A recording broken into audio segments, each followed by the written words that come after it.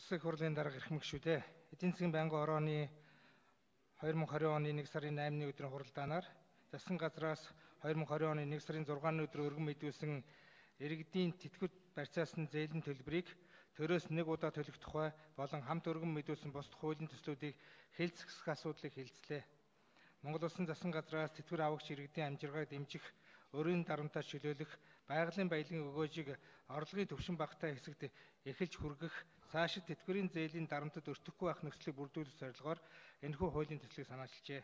Уг хуулийн төсөлд нийгмийн даатгалын сангаас тэтгэвэр авагч болон цэргийн алба хаасны тэтгэвэр авагч иргэний тэтгэвэр барьцаалан банкнаас авсан зээлийн үлдэгдэл төлбөрийг төрөөс нэг удаа төлөх уг их усүрийг Эрдэнэс Монгол төрөө өмчт компани салхитын мөнгө алтны ордны ирээдүйн орлого барьцаалан гаргах үнд цаасны орлогоор бүрдүүлэх цаашид банк санхүүгийн байгууллагын зээлдэгшин тэтгэвэр тэтгэмжийг барьцаалахыг хориглох зохицуултыг тусгасан байна.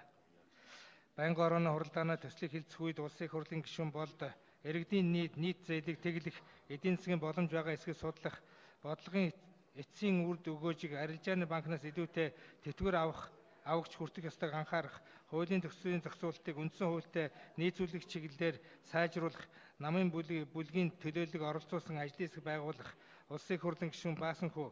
хуулийн зохицуултыг хүн бүр тэгшэрхтэй байгалийн баялаг ард түмний мэдэлд байна гэсэн үндсэн хуулийн суурь зарчимтай нийцүүлэх улсын хурлын гишүүн Баттөмөр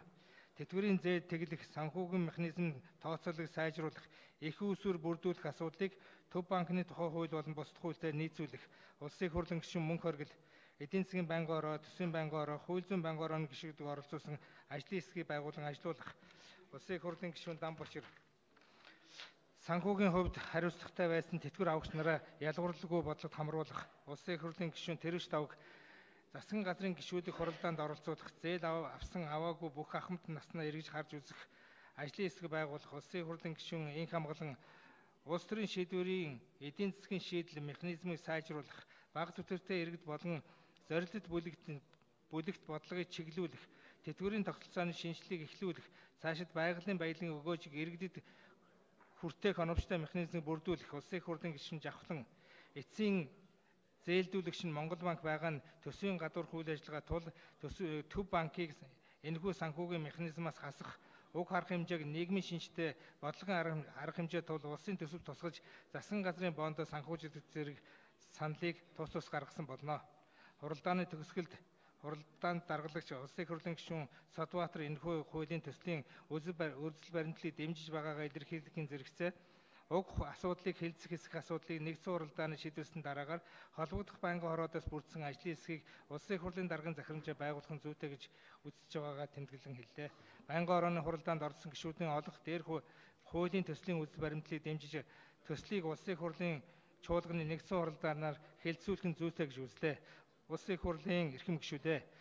иргэдийн тэтгэр барьцаасан зээлийн төлбөрийг төрөөс нэг удаа төлөх болон нийгмийн даатгалын сангаар сангаас олгох тэтгэв тэтгэмжийн тухай хуульд өөрчлөлт оруулах тухай ахмад насны тухай хуульд өөрчлөлт оруулах тухай банк эрх эрх бүхий хуулийн этгээдийн мөнгөн хадгаламж төлбөр тооцоо зээлийн үйл ажиллагааны тухай хуульд нэмэлт өөрчлөлт оруулах тухай хуулийн төслүүдийг хэлцэх талаарх байнгын орооны санал дүгнэлтийг